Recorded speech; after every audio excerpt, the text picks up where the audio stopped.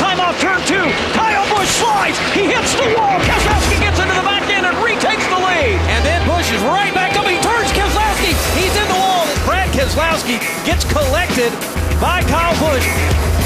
Kyle Busch will win the Food City 250 tonight.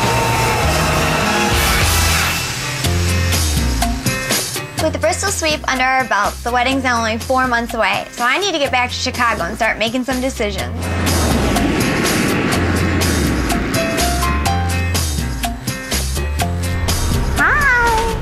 Wedding planner, is great. I knew right away I would like her because Susan's really feisty and she doesn't take no for an answer. She goes all out for it. The theme is old world glamour. We're going to start here at the Cultural Center. I know you've only seen it once, only for a few minutes, so we're going to get a better look at it now that we have it officially. Yay! Normally, the Chicago Cultural Center is closed on New Year's Eve, so we had to go through some red tape to make sure it was open for this big affair. And we're going to walk the space, then go eat, do invitations, talk about the rest of the planning, and then ultimately get to the design. Yay. I had envisioned, like I said, this kind of vintage glam wedding. And when you walk into the Chicago Cultural Center, it was actually the original public library. And it has these huge Tiffany domes, and it's very old, and it has lots of details and characters. It's got like these cool rosettes up in the ceiling, and it's got mosaic, and there's just a lot of character to the building. Oh, could we get bartenders that do the flair and everything too? You know, and make it like lively. Like what? You know, like where they flip the bottles and then there's fires. Now that we have the venues, it's time to design our invites. What I had pictured to start with is a champagne square done on a paper with a border on the top and the left hand side in a suede or leather or some sort of fabric and the paper would almost sit on top of the suede so it almost gave it a layered effect. I guess that's what I envisioned, but I'm open to anything. Okay, that's um, interesting. I go with the flow to an extent. Like I know what I want. Sometimes it takes me a while to get there. I think what I'm picturing more so than this is a solid border and then taking this laser cutting mm-hmm. and bringing it from the same color onto the paper. You just confused the rest of us. I know. So you want to cut these two sides off, correct? Yeah. This would be so suede or leather. That's your backer. This and then it would be Right back scallopy like this, and this is the actual invite. Yeah. but where the it's cutting is on this portion. What cutting? Do you want to keep going with the lines of this pattern here? What pattern? No, I don't want any lines. I want it all to be suede laser. Right, But you know what I mean? Like right, but Laser cut out. laser so you cut see out. the suede through this laser cut. No. Maybe you need a man's advice on this one. No. Just for the, the one thing I want is on those, I want it to be a box that you open. Hmm. That's what Oh, mm-hmm. And we'll Yeah, grab you some of that behind You you. make him Hey, cookie boy. Cookie Monster.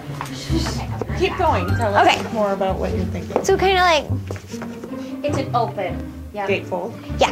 And yeah. But bigger. But bigger. Huge box. And there's these. What? what? That's an invitation? Yeah. It's a something Bible. people will save forever.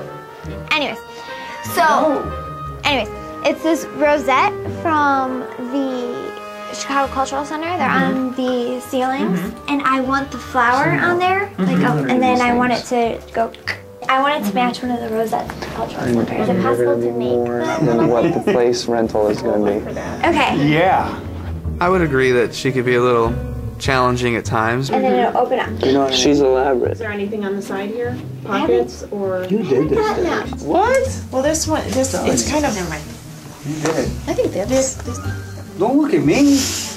What are you looking at me for? Don't talk him out of anything. I'm, I'm not. Just eat cookies. Stop going crazy. I'm not going crazy, but it's our invitations. They You have to look me not to nice. eat cookie. Now They don't have to be a hundred dollars a Yes, piece. they do. They have to be beautiful. No. People will want to come to the wedding if the You invitations pay are for pretty. them. That's not even funny. So just Okay, guys. it's like the start of the wedding. If you have ugly invitations, nobody's gonna want to come to your wedding. Okay. Really? Do I get an invitation? No, you don't get an invitation because they cost hundred dollars. You're not allowed to have one. Good, I don't want one. I'm not paying for it. If I don't get an invitation, I don't have to different titles, you know, accommodation, maybe partner, whatever. Kyle said racing's all about me, so this wedding can be whatever vision you have. I don't know whether it's cheaper to be racing or cheaper to have a wedding, but it's a good thing a wedding's only once. To taste each of the different foods to try to pick out what we're going to actually serve at our wedding. Long time no see. Right?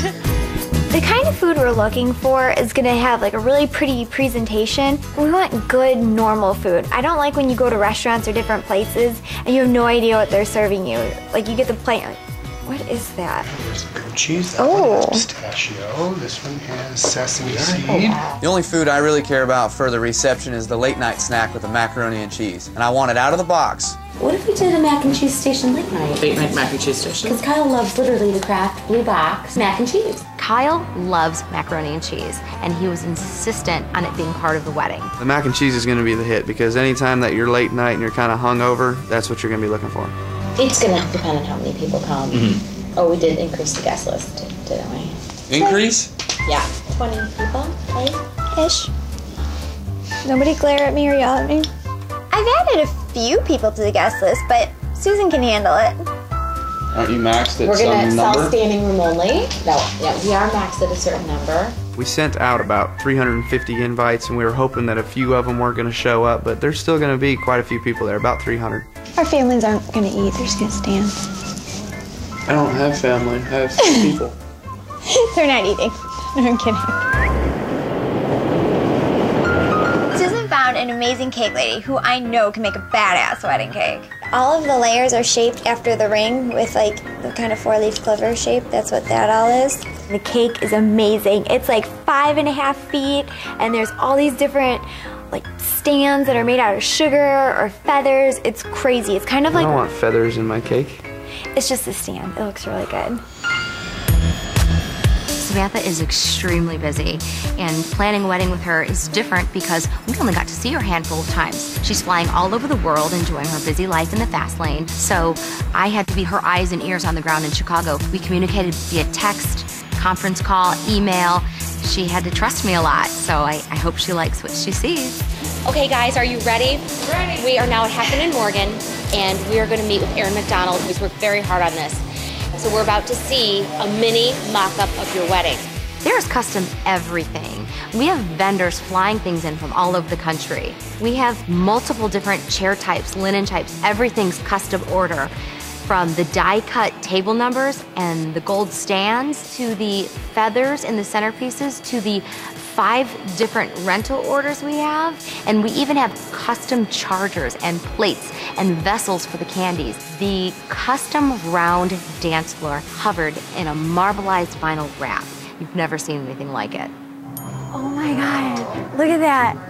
Mm-hmm. Oh, it's beautiful.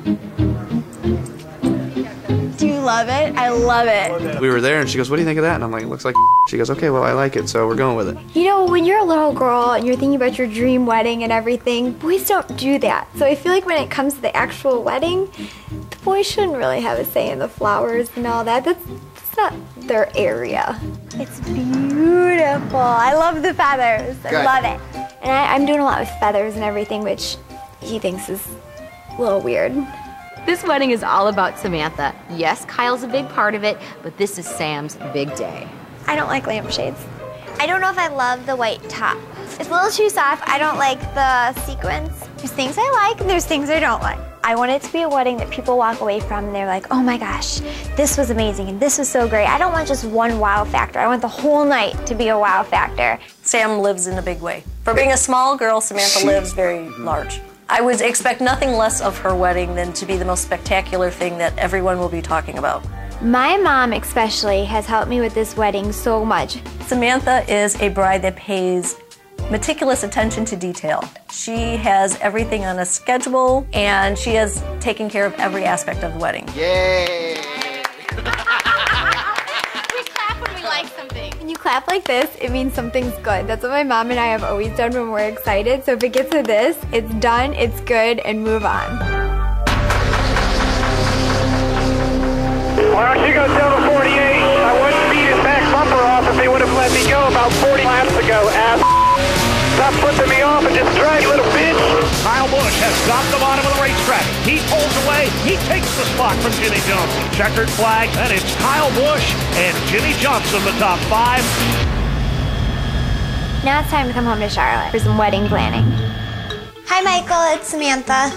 The thing I'm most nervous about right now is I had this crazy idea to get my wedding dress designed in Dubai by um, a designer named Michael Cinco. Yeah, I was just calling to see if we could talk a little bit more about like the dress design and you know kind of just some of the elements and whatnot to put on it. She like one design that has a lot of details and feathers in it.